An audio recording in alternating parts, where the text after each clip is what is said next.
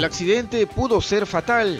El irresponsable chofer Carlos Julián Villanueva conducía esta combi de la empresa Los Diamantes y casi mata a esta mujer policía. Cortó el camino y no se dio cuenta del- de, la, de la moto, ¿no? que en este caso es, es una falta del, del parte del conductor. Se ha salido de su, propio, de su propia ruta. ruta, exactamente, este es salido de su propia ruta. El accidente ocurrió frente al municipio de Moche, en plena Plaza Mayor, donde supuestamente la circulación de combis está prohibida. Pero aquí no pasa nada. Incluso en menos de dos semanas se han reportado más de dos incidentes.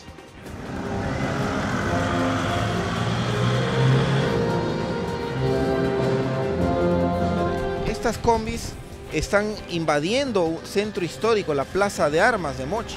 Exacto, justamente esa no es su ruta. Su ruta de la combis es eh, toda la calle de, de Diego Ferré hasta Salaberry. Sin embargo, estas combis eh, pasan este, este tipo de, de rutas, no, no respetan el... Pero ustedes como municipalidad no pueden regular eso. Nosotros hacemos todo lo posible en el tema pre- preventivo, ¿no? Este, eh, eh, nosotros nos ubicamos en puntos estratégicos En efecto, se dispuso la presencia de patrulleros municipales, pero el trabajo es insuficiente. Hace falta sanciones efectivas contra estas empresas, que ingresan libremente a la plaza principal de Moche.